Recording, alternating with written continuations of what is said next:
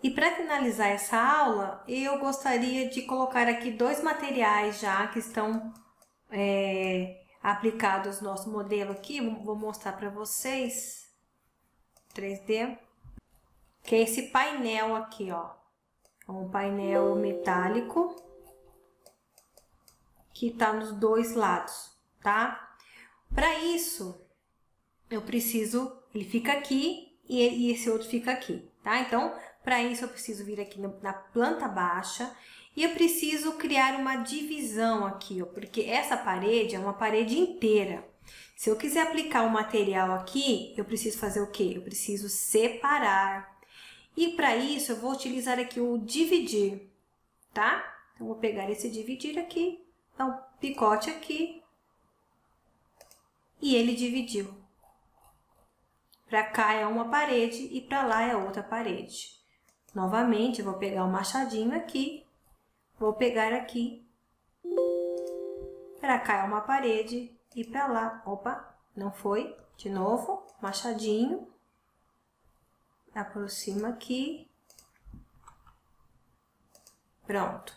E agora ele dividiu essa parede em dois pedaços. Então, eu consigo colocar material nessas duas paredes, tá? Então, vamos criar aqui a superfície. Vou pegar esse novo aqui, ó, branco polido, e vou colocar aqui chapa metálica. E vou duplicar. Posso colocar aqui um,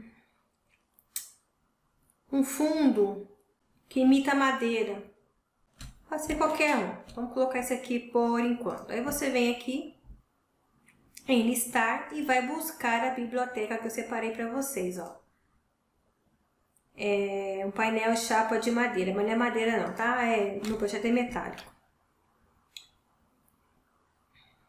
Adiciono e ok. Muito bom. Então, eu criei o material da superfície. Agora, eu vou criar aqui o material de construção. Vou pegar um aqui mesmo, MDF, vou dar um novo e vou colocar aqui a chapa metálica.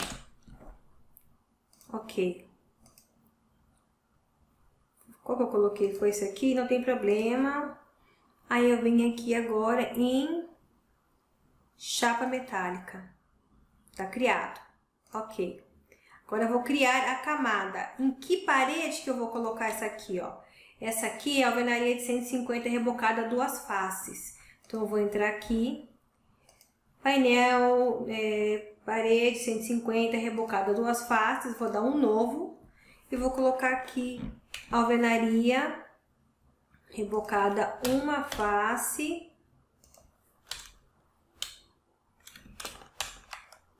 mais painel. Ok. Então, eu tenho aqui o reboco de um lado, o tijolo do outro, e aqui eu vou adicionar uma nova camada, tá? E aqui vai estar tá o meu painel de madeira. De madeira não, de metálica, chapa metálica, tá aqui, ó.